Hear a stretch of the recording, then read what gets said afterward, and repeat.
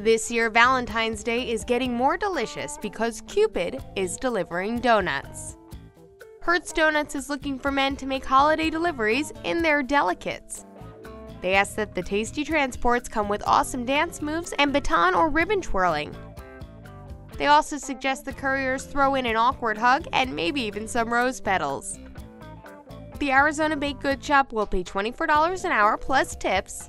So if angel wings and cowboy boots sound like your dream work attire, this is the seasonal job for you.